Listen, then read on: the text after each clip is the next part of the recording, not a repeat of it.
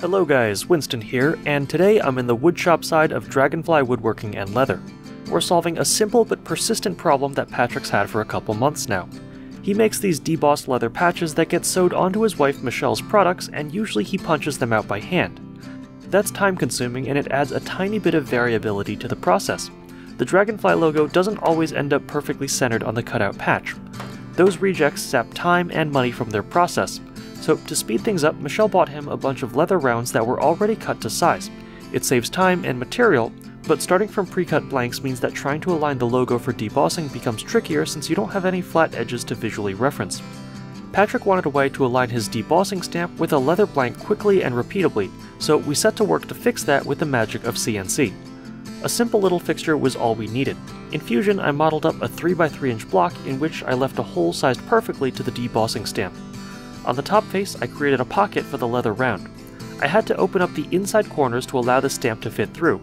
I chose to dogbone the profile in the direction of the thickest remaining stock to maximize the overall strength of the fixture body. Moving into the cam workspace, this simple part has simple toolpaths.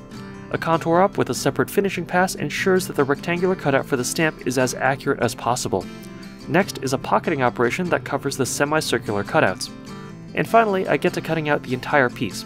I used a normal contour op with no finishing pass because this outer profile's dimensions aren't critical. For these operations, I would be using an 8th inch long reach end mill at 10,000 RPM, and based on a gut feeling, I set the feed rate to about 30 inches per minute. My depth of cut was about 35 thou on the roughing and double that for finishing. Our stock for this project is some scrap 3 quarter inch oak. I taped it down with some Nitto Permacel PO2, hit run, and walked away to get something from my car, uttering these wise words as I left. Ha,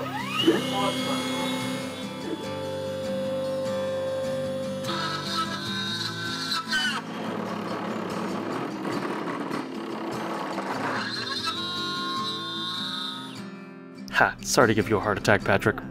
It would seem that I had failed to set my origin point correctly for this setup. Fusion thought that I was zeroing off from the top of the stock, but I had actually zeroed off on the wasteboard. Minor mistake, I reposted my G-code and reran the program a couple millimeters further up to avoid the ugly gouge in the oak.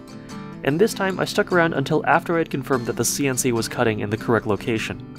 The toolpath ran without drama, although I did dial back the feed rate during some of the roughing passes based on the sounds of the cut. The spindle was getting a little loaded up, and you always want to leave a little performance margin just in case, say, you cut through your onion skin and your end mill gets gummed up with adhesive from your double-sided tape. You can hear the machine bogging down a little here. And also, before the Nomad got too far pocketing the recess for the leather rounds, I paused the program to remove the cutout rectangle of stock. The lead out for this pocketing operation had the end mill passing through that piece and I could see it moving ever so slightly.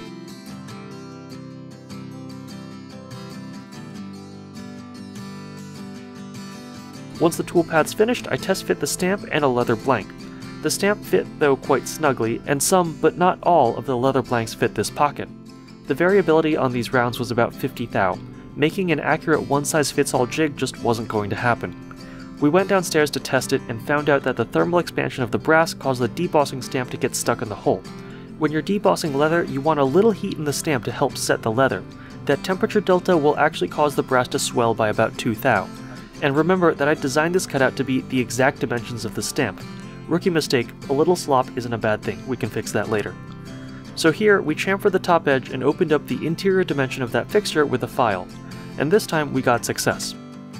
The nice part is I don't to, I don't care which way the die is, is you know, either way, it works.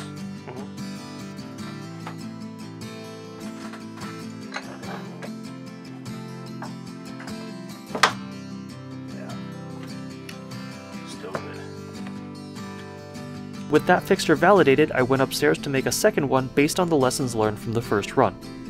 My initial rough and contour toolpaths would be run at 24 inches per minute now, finishing would still be at 30. The cutout of the rectangular opening for the stamp would have negative 6 thou stock to leave to enlarge that hole.